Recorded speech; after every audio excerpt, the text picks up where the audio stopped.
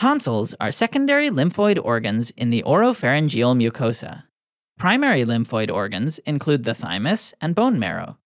The tonsils are a type of mucosa associated lymphoid tissue, abbreviated MALT, which are found in mucosal surfaces. There are four kinds of tonsillar structures.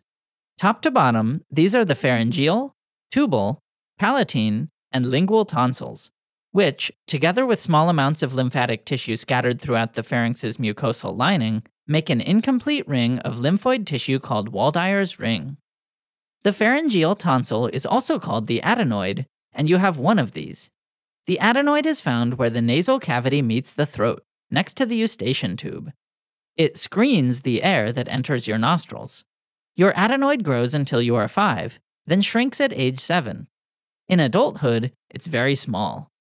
The adenoid is different from the other tonsils in that it has no crypts, which are invaginations in the surface of a tonsil.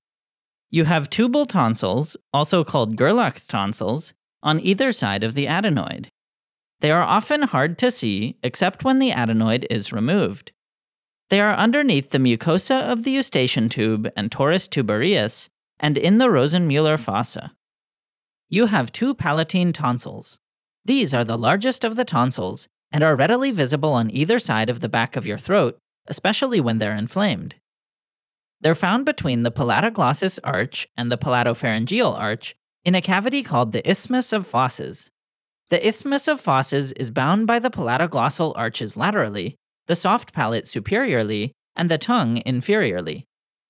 The palatine tonsils have many deep and branching crypts, which contain lymphocytes. These crypts increase the probability of exposure of foreign antigens to the crypt's lymphatic tissue. Interestingly, your tonsils can change and become more cryptic in your late teens and early 20s, and they shrink as you age. You have one lingual tonsil made up of small bumps on the most posterior part of the tongue's base. This lymphoid tissue has a huge variety of sizes and shapes. The four kinds of tonsils play an immune function, serving as a first line of defense against ingested or inhaled pathogens, since they're at the gateway to our respiratory and digestive tract.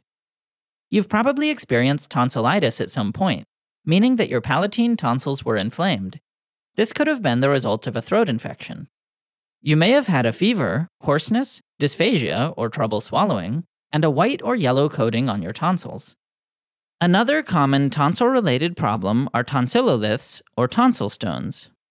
These form when matter trapped in tonsil crypts solidifies. They are mostly made up of calcium, which is why they are white or cream in color, but have a putrid odor due to hydrogen sulfide and methyl mercaptan contents.